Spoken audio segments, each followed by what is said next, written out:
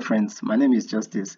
Today I'll be showing you how to set up Kibana alerting system. This is done for the ELK stack and ELK stands for Elasticsearch Logstash Kibana. Kibana is the component that is responsible for creating visualizations. So if I want to create dashboards or charts, then I have to use the Kibana component.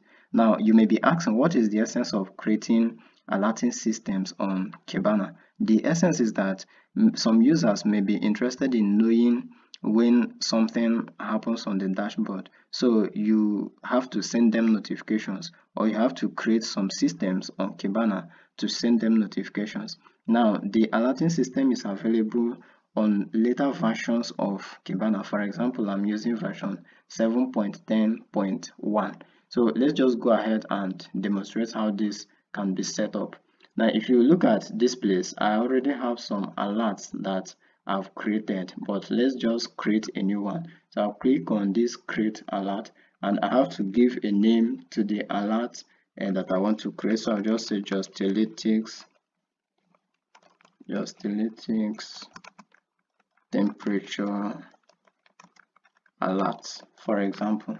And we have to give some tags. This is optional. So I'll just say temp uh, slack so we can just leave it at that now we can uh, enter the duration that we want this uh, uh, this uh, alert to check what is happening on the dashboard so i'll just say check it every five minutes and notify me every five minutes now i have some trigger types to select. We have index threshold and so on and so forth. But let's just go ahead and use this index threshold. So here you have to select the index that you want to use. So i'll just use tmt data. All right? So this is the index that i want to use. And i also have to specify the time field. Here i will be using the timestamp as my time field all right. So that is what we have. Now when what happens so here by default we have count but i'll be using the maximum. So when maximum of what? We have to select the field and the temperature field here is named data. So when the maximum of this temperature over all the documents and remember you can also select maybe top of your uh, document but uh, we are using the uh, entire document here. So all the document. All right so this is okay. Now the next thing we have to do is to define the condition. So when the maximum of this column temperature is above what? So here we can also select below or whatever but we are using above. So when it is above one i want to be notified. And for the last or for the last five minutes for example and I'll just leave it at that. All right so this is actually what uh, we've done. We've set condition and for the action type it is possible for us to be notified via email via uh, other uh, platforms and what we'll be using here is just the slack. All right so we have to uh, specify the connector that this alert will be attached to. And we already have high temperature slack alert connector but let us create a new one. So i'll just click on add new and here we can give it a name. So let's just say Justylytics connector. Okay so this is what we have. Now you have to enter the webhook URL. And to do that you have to generate uh, the URL from this link. So I'll just click here. I'll, I'll paste this uh, URL on the description box. So from here now you can see that this is where we can configure the Slack uh, account. I already have a Slack workspace that I want to use. So I'll just click on this URL. And that will take me to my Slack uh, a workspace. So you can see here that we have Justylytics as the name of the slack workspace. And if you click on this arrow you can see other workspaces that you can use. But i want to use this. These these are the workspaces that i also belong to. All right?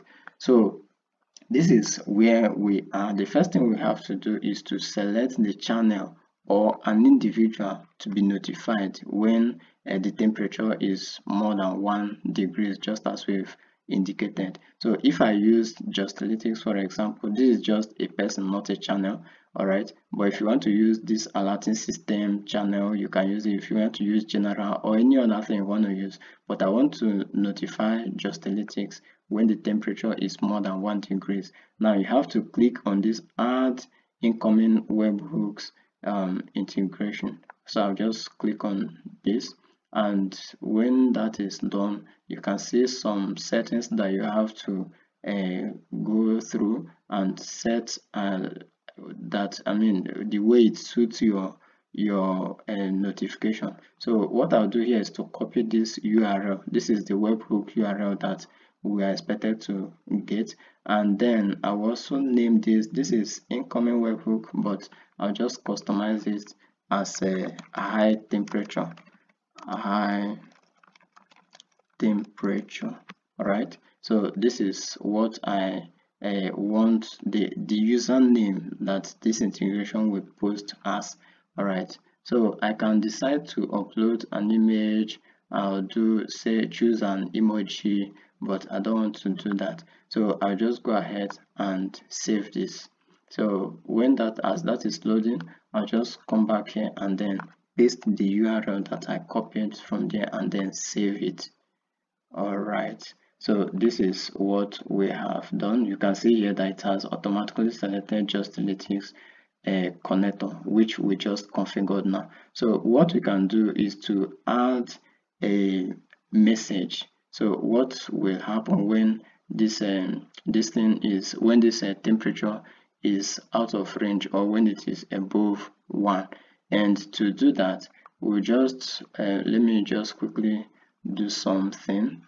All right so i'll just go ahead and uh, because i want to use the uh, the url of the of the of the of the dashboard. So I'll just come here and uh, select this uh, okay edit I want to copy the dashboard URL so I'll just copy this message exactly the way it is there. So I'll just copy it.